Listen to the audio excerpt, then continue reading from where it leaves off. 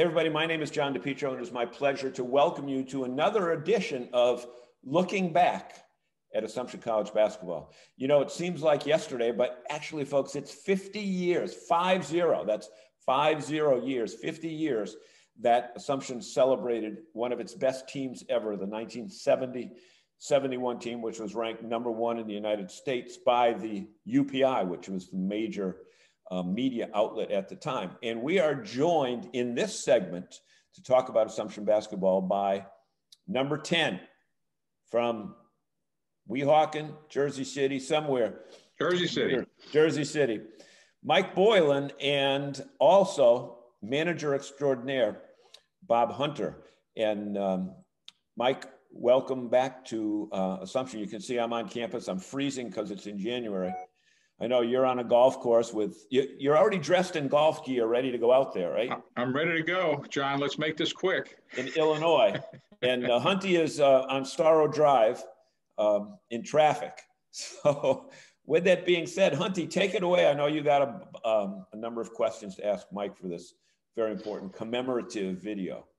Well, so before we start, one thing I'd like to point out, Mike, is I did I did a quick check yesterday of the records and I believe that yours and Danny's class were the, the winningest team or the winningest four years ever at Assumption. Um, so, you know, even Grock's class, they had more losses than you guys did. So, um, and on top of that, when you graduated, if I remember correctly, you graduated basically holding all the scoring records. Well, so, I, I, did, Bob, and um, it's kind of interesting. We were, I think, believe we were 88 and 13 over the four years and um, it's uh, quite interesting that uh, the only records that I still hold uh, are most shots attempted. I was just going to mention that. Uh, game, season, and career. I got the trifecta of most shots attempted, but uh, as I tell my grandkids all the time, you know, you got four other guys that can rebound and play and play defense. Just learn how to shoot the ball. So, yeah. hey, hey, Mike, I take comfort about, in that. Talk about those four other guys. It's very interesting to note that even though Assumption is located in Worcester, Mass, far away from the New Jersey border, four of the starters that year, you, Serge, Jake Jones, and Neil Burgess, were all Jersey boys. And Frankie Valli gets titles for Jersey boys when it was really you guys long before them. That's right. And it, I would say it probably started with Joe O'Brien, who was from uh, from New Jersey. He Went to the same high school that uh, I did, as well as Serge. Um, so we had myself and Serge and Neil Burgess from Jersey City, and then from uh, South Jersey we had uh, the famous Jake Jones uh, and uh, Scott. So Jeff Scott. And we had a few other players uh, on the team as well from New Jersey. Uh, uh, Charlie Alexowicz was a coach who was from Bayonne, I believe. So, uh, uh, yeah, quite a strong Jersey connection. And uh, also, the student body was a, a, little reflection of that as well. We had a lot of students from New York, Connecticut, and New Jersey back then. And remember, this was the second year of Assumption being co ed. So, we had quite a few uh, females on campus from the metropolitan New York area as well. They all wanted to meet a guy from Massachusetts. That's why they came up. okay. I, although I saying if I said that today, I'd be in trouble. Then I realized I just said it. So I, I probably you can edit this, John. That won't make the highlight reel. I'll tell you that. I do a lot of editing with John. So, so Michael, one thing. I mean, what? When did you? When did it occur to you, or when did you think that this was going to be a really good team, a really special team? Well, if you remember, we uh, we ended the season before um, in a dramatic uh, negative fashion uh, at the last minute, and I'm talking about the last couple of seconds. Uh, we were up by one, I believe, when had the ball. Uh, the ball got stolen from us, and at the last second, a player from AIC made a basket uh, at our place in the regional finals, and um, so we had a kind of a chip on our shoulder coming into the 71 season. Uh, the thing I remember most, though, um, is that every player on our team uh, had great minutes because uh, when we came out, we came out running um, and we never stopped. I know for myself, being a, a, a scorer, uh, I tried to get as many points as I could in the first half because I knew Joe O'Brien, with you know 15 minutes to go in the second half, was going to clear the bench, and I wouldn't get any more shots. So, uh, but the great thing that was we had we had players with a lot of experience. Uh, you know, going down 7, 8, 9, 10, 11, 12 players with a lot of experience that we could count on later on when the games, if they got tighter. But, you know, what, what would happen is, you know, we were the Greyhounds was a great uh, nickname for us because that's exactly how we ran. In other words, I can remember Joe O'Brien telling me, when you go out on a shooter, uh, he shoots the ball. You don't go for the rebound. You take off. So I, would be at half court half the time. By the time Danny or Serge or Jake or Neil got the rebound, and uh, off to the races we went but we were we were a fast-paced team. Um, defense wasn't maybe one of our strengths, but we could certainly score with anybody. Well, what, you know, what part of the team, Mike, do you think was underrated? Um, and you know, you just said defense, for instance, but I actually thought you know the defense was pretty damn good. Well, I would I would say the defense was unbelievable with one player. We had one player that could change the course of the game, and that was Jake Jones. Those he was, arms, right? He was undoubtedly, and this will go. Pro scouts will will tell you this. At the time, he was the best defensive player in the country. Uh, I can remember the Holy Cross game as an instance. They had a point guard by the name of Adams. He he couldn't get the ball over half court uh, in ten seconds with with Jake hounding him, uh, or Jake would trap him in, in in the corner. I mean, it. He was an unbelievable defensive player. And then you had, uh, in my opinion, a very underrated player, uh, Dan Small. Uh, he was an undersized power forward who would just clean the boards. Or in my case, when I let my man go by me to get down to the other end, I knew that Danny was behind me taking care of business. So, yeah, we, we had we had some guys that could play defense and rebound, but uh, our strength was definitely being able to put points uh, on a scoreboard. Mike, I think it's important also to point out that the years you were playing, there was no three point shot. So all of these were uh, ones and twos. Yeah, that's, that's and... correct. no three point shot. That, that, tells you how old we are. Yeah.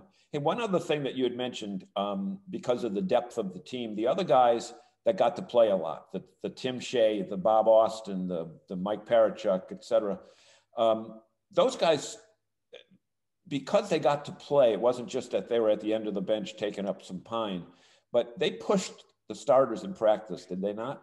They, they did because they knew uh, how, how they practiced in practice, how they played in practice would be re- reflective of the number of minutes they got in the game. So when when they, we came out, you know, to to scrimmage, you know, one team against a two team or whatever, man, they just laid it on the line because they wanted to impress the coaches to let them know that they could play and they deserve more playing time. So it definitely helped to have uh, teammates like that who, who really pushed you. And, and the other guy who I, I shouldn't, I, I should mention, um, kind of the, um, the third senior on the team, uh, he, he didn't play a lot, but he was so important off the court uh, and in the locker room was Brian O'Brien. I mean, he just um, kept us loose uh, kept us focused, uh, very encouraging, and he was great senior leadership from a guy who uh, was a role player. And no relation like, to the coach. No relation to the coach. And I think actually the first Brian O'Brien Award was presented obviously to Brian that year by the you know by the school, and it was for outstanding leadership in you know like the sixth man award or something. Yep, local kid too from Worcester. Yep. His father had been, former, had been former mayor. Oh, okay. Oh, is that right? Oh, I didn't know yeah. that. I didn't know that. So, Mike, as as the years flew by when we got out of there, um, what do you look back on with the, with the fondest memories of the Assumption years? I would say, um, you know, we, we my freshman year was the first co-ed year, so it was for the college itself, it was a huge transition.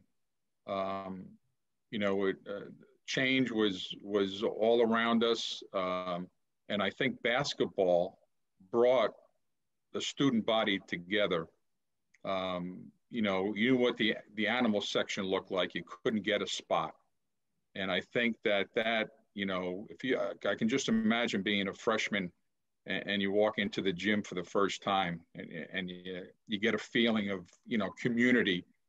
And uh, the fact that we were good certainly helped, but also that the entire student body was there to support you. So I think being a small school, I think at that time we only had maybe 800 students. Yeah, 70. Um, you know, that, uh, you know, you, everybody, um, on campus was at the games, and that included the faculty as well as, as a local Worcester community. And as the as the, the season went on, especially 71, we were filling the stands up because we did become Worcester's team, uh, especially after we beat uh, Holy Cross that year in our gym. So that just solidified our place. And that was the beginning of our run in the NCAA tournament.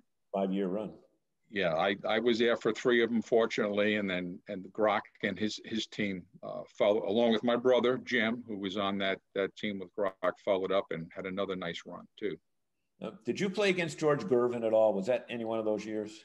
Yeah, I I I held George Gervin to 42. Oh, that's stellar defense. But the next night, I did get 45 to get my 2,000. But we did lose to Eastern Michigan in my senior year. Yep. Yep, yep. that was that was wild. Who did we play junior year out in? Uh, well, your junior year, my senior year out in Evansville. Uh, let's see. We we oh. played the Tennessee State. Oh, Tennessee State. Yep. And they were six nine, six nine, six eight across the back. Right.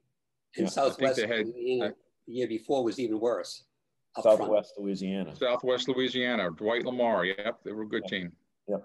I can remember sitting at the end of that game when Neil was assigned to cover um, Bo Pete Lamar, and Lamar walks across half court and shoots from half court, and Neil just looks at coach and says, "What are you going to do?" I mean, right, right, right.